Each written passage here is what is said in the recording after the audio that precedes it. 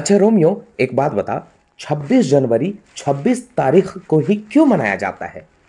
छब्बीस जनवरी छब्बीस तारीख को क्यों मनाया जाता है? यही ना? हाँ हाँ आंसर दे। इसका आंसर तो मुझे पता है। अच्छा ठीक है बता। 26 जनवरी 26 तारीख को क्यों मनाया जाता है? क्योंकि छब्बीस जनवरी को हम लोग हाँ। पंद्रह अगस्त नहीं मना सकते है ना? क्या हुआ?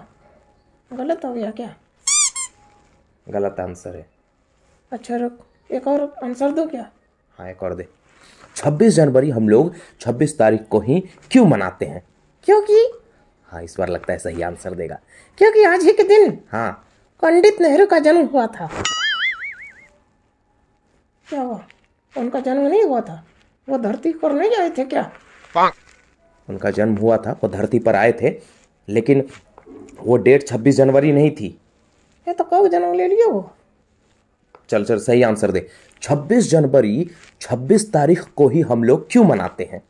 हाँ इसका आइडिया आ गया मुझे। स्कूल में? हाँ। अच्छा स्कूल में स्कूल में स्कूल का याद आ गया तो इसका मतलब इसको याद आ गया। बिल्कुल सही कहा। हाँ 26 जनवरी हम लोग क्यों मनाते हैं? छब्बीस जनवरी इसलिए मनाते हैं हाँ। क्योंकि इस दिन हमें स्कूल में हाँ। जलेबी दिया जाता है।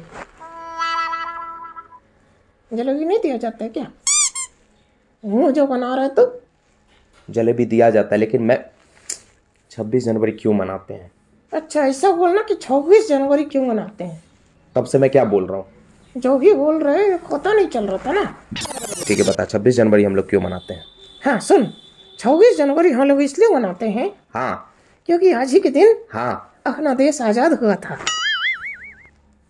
सही आंसर है ना? क्या हो गया तेरे को? इस दिन देश आज़ाद नहीं हुआ था। 26 जनवरी हम लोग इसलिए मनाते हैं क्योंकि 26 जनवरी को ही हमारा संविधान लागू हुआ था इसलिए इसे रिपब्लिक डे के रूप में मनाया जाता है। अच्छा तुझे पता है अभी मैं चौथा आंसर देने वाला था लेकिन मुझे लगा वो भी गलत हो जाएगा इसलिए नहीं बोला। अच्छा ठीक है चौथा आंसर क्या था? वो आंसर ये था कि 26 जनवरी को हम लोग गणतंत्र दिवस के रूप में मनाते हैं। फिर गलत हो जाता तो इसलिए मैं चौक हो गया। इस बार सही था। इस बार सही था? हाँ। अरे यार चौथा आंसर सही था ना? चौथा आंसर सही था। अच्छा 26 जनवरी इस दिन सरस्वती पूजा है। ये पागल क्यों कर रहे तू? अभी तो बोला ना छब्बीस जनवरी को रिपब्लिक डे है तो फिर सरस्वती पूजा कहाँ से आ गया? सरस्वती पूजा और 26 जनवरी एक साथ पड़ा है। अरे अरे रे रे फिर तो जॉब करने वालों की छुट्टी गई। छुट्टी चली गई बेचारे परेशान होंगे। हाँ हाँ हाँ छुट्टी चली गई ओ हो हो हो सारी सारी आज रिपब्लिक डे के इस मौके पर हमारे देशवासियों के लिए मैं एक शायरी डेडिकेट करना चाहता हूँ। कर दे कर दे। कि जमाने भर में मिलते हैं आशिक कई मगर वतन से खूबसूरत कोई सनम नहीं होता। वाह इतनी गंदी शक्ल से पहली बार कोई अच्छी बात कही है तूने।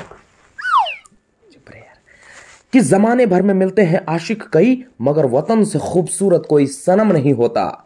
रुपए में लिपट कर सोने में सिमट कर मरे हैं कई मगर तिरंगे से खूबसूरत कोई कफन नहीं होता। क्या बात कही है? जय हिंद!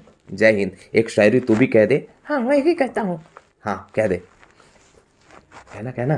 कि दूध मांगोगे? दूध मांगोगे? तो खीर दूँगा। हालाँकि ये थोड़ा पुराना है लेकिन चलो ठीक है। आगे तो सुन पहले कैसे डिसाइड कर लिया कि पुराना है? अच्छा ओके ओके बता। कि दूध मांगोगे तो खीर दूँगा और अगर दूध फट गया तो पनीर दूँगा। दूध मांगोगे तो खीर दूँगा अगर दूध फट गया तो? पनीर दूँगा। अच्छा। कि दूध मांगोगे तो खीर दूँगा दूध फट गया तो पनीर दूँगा और अगर मेरे देश की और बुरी नज़र डाली तो पकड़ के चीर दूँगा। जय हिंद जय हिंद जय हिंद जय भारत जय हिंद जय भारत। वंदे मातरम। थैंक यू सो मच जय हिंद। जय हिंद।